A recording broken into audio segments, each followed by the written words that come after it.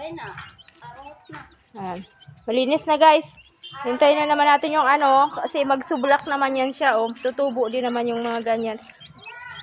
Tambakan na lang yan kasi yung mga ugat-ugat ng, ano natin guys, ugat-ugat ng, ah, tawag nito, um, kangkong natin lumalabas. So, dapat nito, itatakpan, lambunan ba? Takpan ito yung paligid ng ating mga puno ng kangkong. Ayan, nandito yung mga manok natin, mga liliit na chicken. Titing titing! Mahagop sila guys. Ayan. Cute ah. Uy! Kasi lang ito sila may halo ng dirasa kasi hindi sila tatagal na mamatay. Yung dirasa kasi na manok namin na ano, nahaluan yung ibang lahi ng mga manok ay hindi maganda. Pag nangitlog ang dirasa, marami, marami. Pag nagbuto, marami rin. After ng one week, two weeks, unti-unti silang namamatay. Nababawasan sila. Yan ang mahirap sa dirasa na manok. Hindi siya maganda paramihin kasi pang ano yan, pang sabong.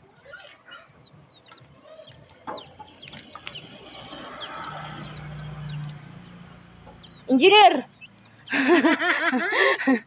Ayun, dito si engineer.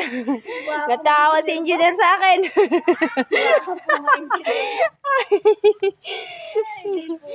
engineer.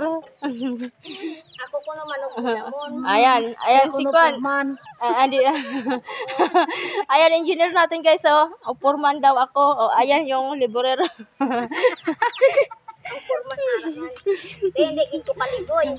Ayan, oo, foreman, saka engineer nandito. Hindi ka pwede magligoy, day. hindi sa kal hindi sa kaligoy kay may hindi na na may forman pa. Oo. Ligoy sa dakan mo. guys, yung ano natin, no? Queen of the Night. Ayan. Tagal ko na ito, ilang taon na to eh. Ah, 4 years na yata ito. 4 years na to, no? Queen of the Night. Dugay-dugay na ni pala, wala kaya po na bulak. Pero pag nagbulak ini, minsan lang ini magbulak pero swerte pag magbulak siya. Hmm. Oo, perihos din sila sang snake plant. Ang snake plant ko nagbulak kasang nagligad. Ang namin ya pagbulak niya. Ay Queen of the Night niya pagbulak niya alas 12. Niya, pwede mawarek. Ang magbulak. Di ba, mawawaring pa ko na eh. May mga tulog. Love ko na ada saya. Ang dito ya haw dito na lang na to saya mahambol sa pet ining sa atubang iniya hawanon ina kalain tuludo. Hindi mo na mawari. Waon na lang yang nagalala. Tapso na lang na. Tapso na lang na yung ano natin guys. Tapso na lang ni ang ating noy, kay... Noy, noy, ay, namin ang, ang iyang ah, bulak sa ano, sa punta oh. Ano mo pa ng bulak na tanong bala sa dalong mo. Oh, malikot na galing guys. Dapat Kailangan niya i- ano, iangat para mabigyan ng space dito. oh. Kasi magamit pa na. Hindi, pag bagyo, pag bagyo, bala nga to ko sa Iloilo. Pag puli namon di nga tong nagbagyo nga ano to galing nga bagyo nga nagbuhawi. Na, nawarik ina siya kasi ina- ito siya guys. Doon yun sa may ano, pinakahamboy sa may ano, labas ng pader. Tapos nung naabutan ng bagyo kasi malakas ang hangin, pumasok dito sa loob. Kaya nagaganyan siya. Bulaklak natin guys, ayan. Bulaklak natin, nagumamela. Sa mga newly subscribers ko, shout out sa inyong lahat. Maraming salamat sa inyong suporta guys. I always thank you to you all sa lahat ng mga sumuporta sa aking YouTube channel. Um, maraming maraming salamat. At sa mga hindi pa nakapag-subscribe, please naman suportahan niyo yung aking YouTube channel. Sa labas na bahay. Angelina.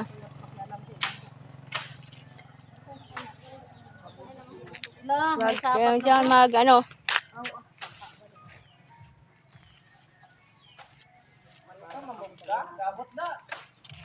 Ito sa labas ng bahay natin guys. So, sa gilid ng pader papalinis natin yan. Kasi pag umulan, silang pagkalbo yan dito. O pag umuulan kasi dumating yung ulan. Pag ulan, binabaha tayo kasi nandito yan oh. Dito, si doon sa tagiliran ng bahay natin mayroong ano, uh, bukid. Kaya tingnan natin guys ah. ha. Ito yan sa tagiliran ng bahay natin.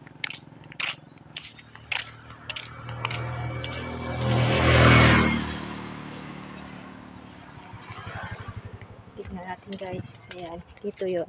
Sa tagiliran ng bahay natin. Ayan yung tong yung pader. Pag umulan dito kasi sa atin, sa amin guys, yung tubig dito, yan, bumabaha yan dito. Kaya pinalagyan ko ng bakod, pinabakuran ko kasi para prevention yan sa baha.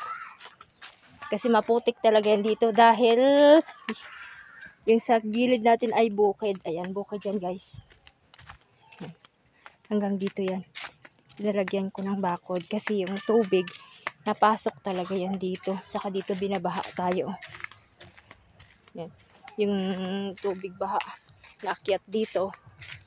Tapos pag walang ano daan, nanghahanap ng daan, madaanan yung tubig. Ayan, kita nyo naman yung tagiliran ng bahay natin. Ayan dyan. Ayan. Kaya ko yan pina, pinabungkal tsaka pinalagyan ng parang kanal. Kasi yung tubig, natalang yung tubig. Kaya pinalagyan ko ng ganito. Pinaano ko talaga sa kanila sa mga pamangkin ko. Binayaran ko sila para malagyan dito ng daluyan ng tubig. Kasi ko, kasi nung nakaraan, flat lang siya ng ganyan, ng kanal. Lahat ng tubig dyan, napunta dito guys, oh. Yan, kasi mababa kami dito. Yan, medyo mababa. Yan ang bahay ni Juan. Bahay ng sister, saka yung bahay ko doon sa dulo. Yan, dyan yung bahay nila mama dyan. Dyan yung bahay nila. So, yan, yan. Yan ang maisa ni tiyahin ko. Maisa ng kapatid ng tatay ko dyan. Yan. So, balik tayo dun sa bahay, guys. Pinakita ko lang sa inyo yung ano natin, likuran. Likuran ng ating bahay. Hmm. Bahay natin. Madamo sa likod.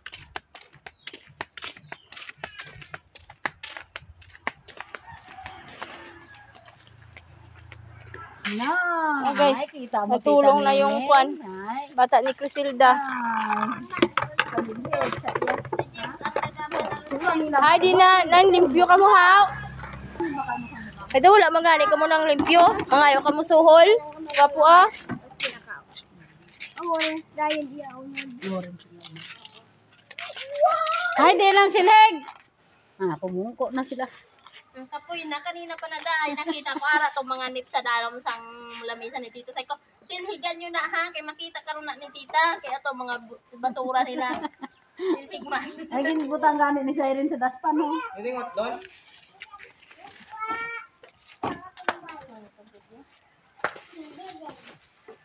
Pati man sila kag.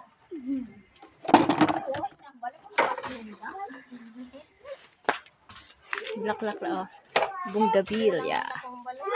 Langka ko guys, matagal na ito dito. Pinapadala ko sa bukid hanggang ngayon nandito pa. Hindi pa nadala doon. Ano to siya eh, magnolia.